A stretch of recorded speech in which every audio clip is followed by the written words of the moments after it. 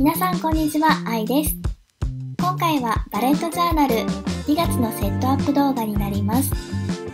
2月のテーマは大人のチョコレートです。簡単で可愛く仕上がっているので、ぜひ最後までご覧ください。それでは始めていきます。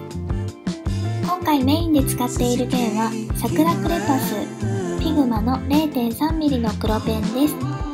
早速2月フェブラリーの文字を書いていきますが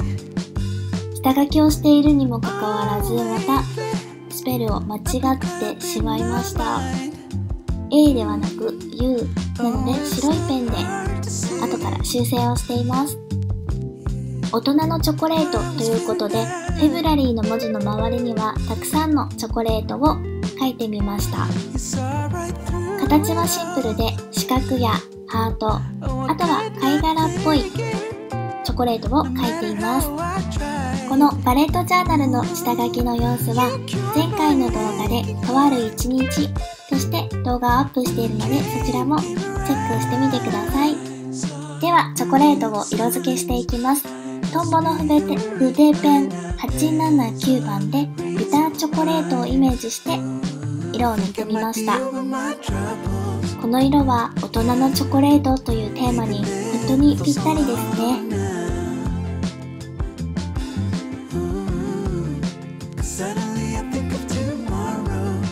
単色だと寂しいので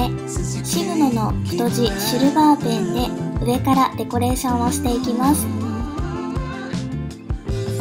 ニョロニョロっと描いたり点々点と書くだけのシンプルなデコレーションですが個人的にはすごく可愛くて気に入っています。次はハートのチョコレートをトンボの筆ペン947番で塗っていきます。ビターチョコレートではなくちょっとミルキーなチョコレートという感じでこちらも素敵です。先ほどと同じシルバーのペンでデコレーションを加えました。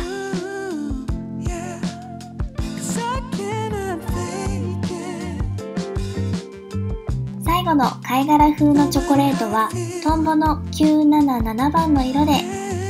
色付けをしていきます。今回はほとんどこの3色を使ってイラストを塗っています。同系色なのでまとまりがあってすごく可愛いです。貝殻はシグノの太字ホワイトペンでデコレーションもしています。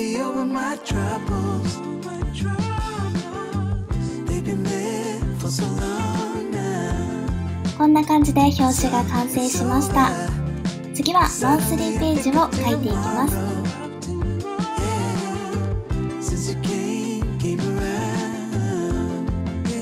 上下を引きながら実は裏写りが気になり始めてきました。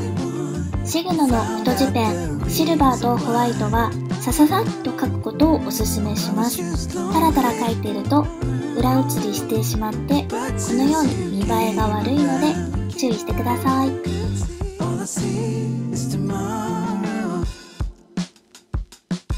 2月の祝日は11日と24日です。バレンタインデーは平日の金曜日になっていますね。チョコレートを渡したり受け取ったり自分用に買ったり皆さん素敵なバレンタインデーをお過ごしください。ちなみに私の旦那さんは元パティシエなのですが何を渡していいかわからないので毎年板チョコを渡しています。渡すと言ってもその後自分が食べるので旦那さんにやる意味はあまりないかもしれません。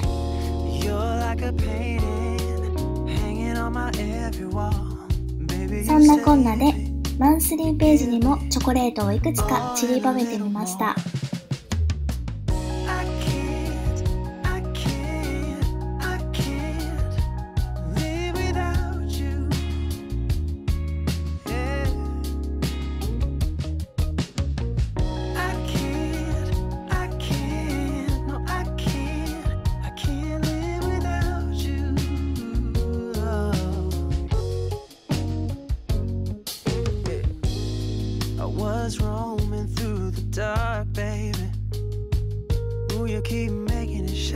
裏写りしないように素早くデコレーションを描いたら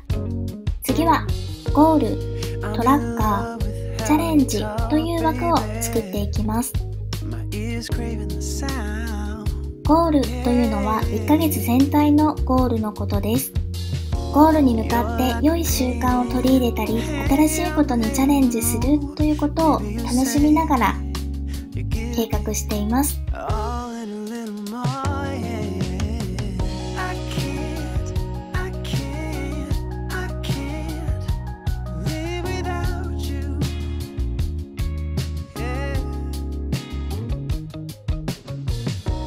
こんな感じでマンスリーページが完成したので次は貯金シートを作っていきます。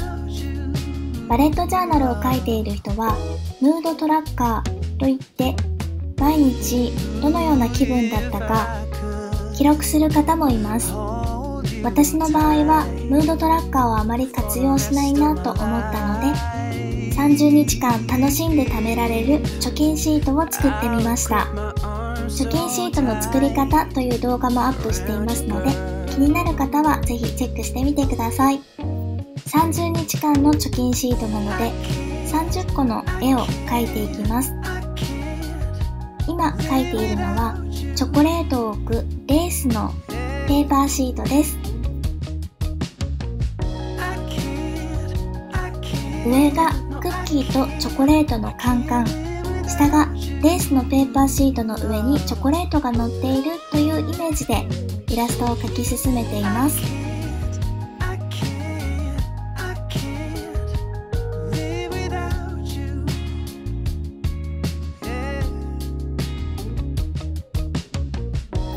こんな感じで30個のチョコレートが描き終わりました。色を塗ると可愛いなというイメージで描いています。どんなことでもちょっと楽しくなる工夫があるだけで継続ができるかなと思います。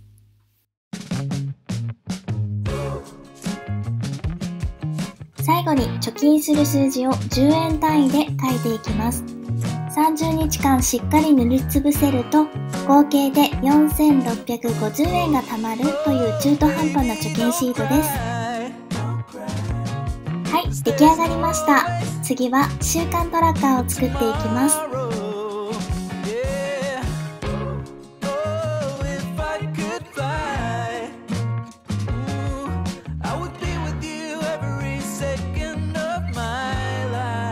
ハビットトラッカー習慣トラッカーは自分のリズムがわかる優れものです。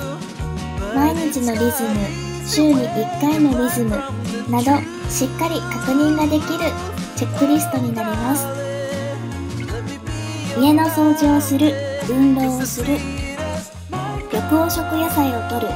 サプリメントを摂る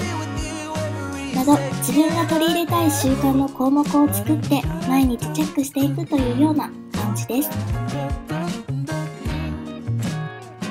夜寝る前にカフェインを抜くとか朝コップ1杯の水を飲むなどあまり自分にとって負担のないものから始めると毎日の振り返りが楽しくなります。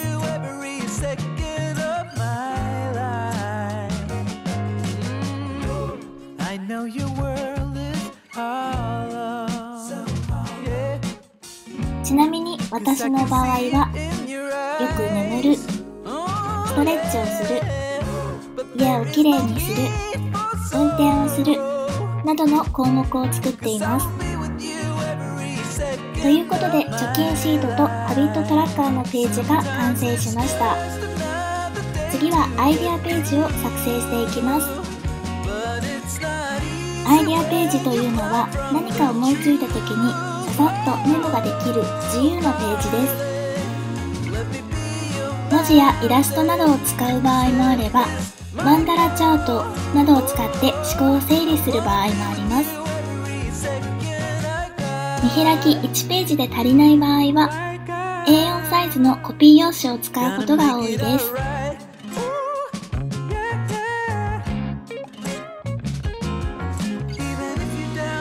ではこちらもチョコレートを塗り進めていきます。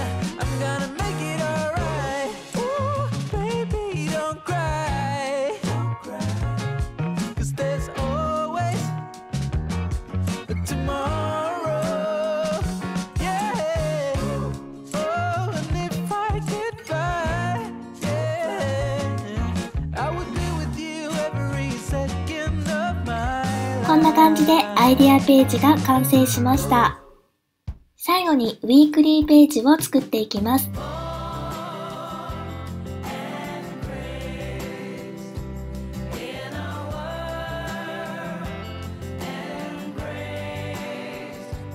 ィークリーページは毎週ちょっとずつフォーマットを変えて書きやすい形を探しています。今のところ予定を立てる欄、当日の欄、結果の欄と3つに分けることで予定がスムーズに管理できています。ウィークリーページや貯金シート、ハビットトラッカーの詳しい使い方はインスタグラムにもアップをしているのでぜひ概要欄からフォローもよろしくお願いします。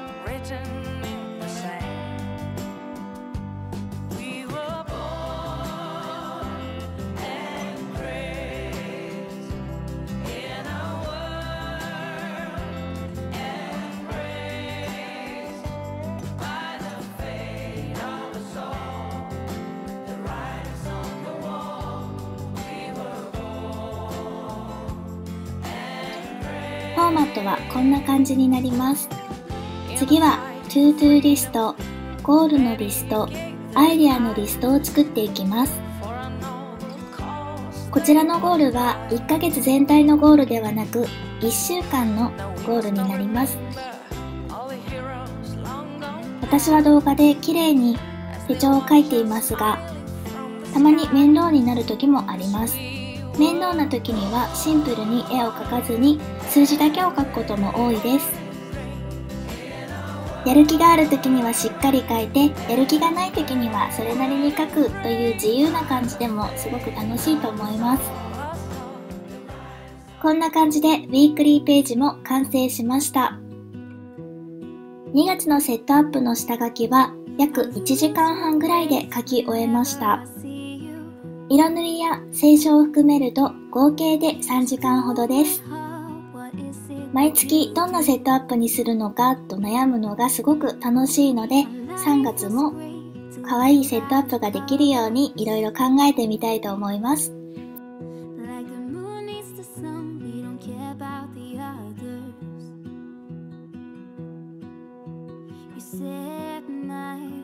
それでは最後に全体を見ていきましょう。表紙のページ、